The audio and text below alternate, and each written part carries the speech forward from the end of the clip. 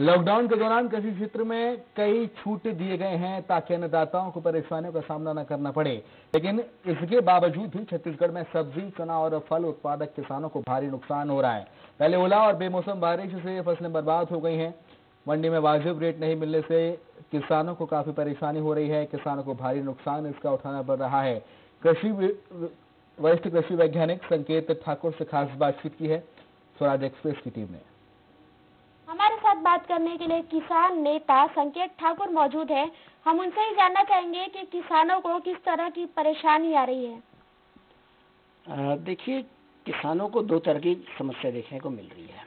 पहली समस्या तो ये है कि चाहे सब्ज़ी हो, चाहे चने की फ़सल हो, चाहे गेहूँ हो, इन फ़सलों की कटाई और सब्जियों की तोड़ाई की समस्या आ रही है। ये स्थिति फलों की केला, पपीता को लेकर है। तो पहली समस्या ये कि गाँव में अब इतनी जागरूकता आ चुकी है कि मजदूर जो हैं, वो खेतों में नहीं आ रहे हैं। तो किसान इसी से जूझ रहे हैं कि हम किस तरह से अपने फलों को या सब्जियों को तोड़ें। दूसरी दिक्कत ये जा रही है कि किसी तरह से वो व्यवस्था कर लेते हैं, तोड़ाई की या कटाई की तो वो जब मंडी में जब उनका माल जाता है प्रोड्यूस जाता है तो मंडी में पहुँच के रेट नहीं मिल रहा है क्योंकि मंडी में डिमांड नहीं रही।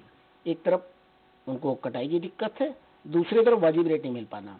अब मिर्ची का रेट आप देखिए, एक रुपये दो रुपए किलो किसानों को मिल रहा है। ऐसा रेट कभी नहीं होता था मिर्ची का, लेकिन ऐसा हो रहा है। और तो होना ही चाहिए कि अभी सब्जियों की काला बाजारी बहुत ज़्यादा हो रही है। सब्जियों का रेट कुछ भी चल रहा है। तो सब्जियों का न्यूनतम समर्थन मूल्य सरकार को तय करना चाहिए। कम और क्वेश्चन तो कम से कम अभी लॉकडाउन के पीरियड के लिए, एक महीने के लिए सब्जियों का रेट स्थायी तौर पर सरकार घोषित कर दे कि इस इस रेट में सब्जियों सब्जियों की कीमत पड़ेगी, ताकि किसानों को कम से कम घाटा तो ना हो। सर मैं ये पूछना चाह रही थी अभी किसान जो है वो काफ़ी परेशान है। कुछ ऐसे जगहों से भी शिकायत आ रही थी कि किसान है वो अपनी सब्जियों को फेंक रहे हैं।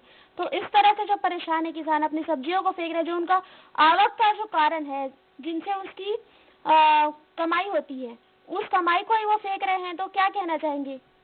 नहीं फेंकना उनकी मजबूरी बन चुकी इसको आपको समझना पड़ेगा। किसानों को रेट नहीं मिल रहा है या कटाई नहीं हो पा रही है। तो करे तो करे क्या किसान? मैं आपको तो अभी हमारे एक परिचित किसान है। अब छह एकड़ में केला लगा के रखे पूरा का पूरा केला, इंतज़ार नहीं कर सकता केला। केला तीन दिन में पक्के खराब हो जाना है।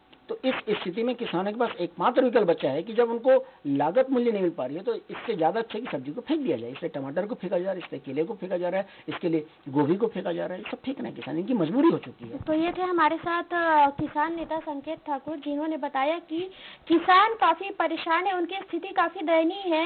वे इस दिशा में आ चुके हैं कि अपनी सब्जियों को फेंक रहे हैं, जो उनके कमाई का ज़रिया है, उसे ही वो फेंक रहे हैं और वेस्ट कर रहे हैं। तो इस तरह से जो किसान है, वो काफ़ी परेशान है। उनकी मांग है कि उनकी सब्जियों को उचित दामों पर नहीं बेचा जा रहा है और उन्हें उचित मूल्य नहीं दिया जा रहा है।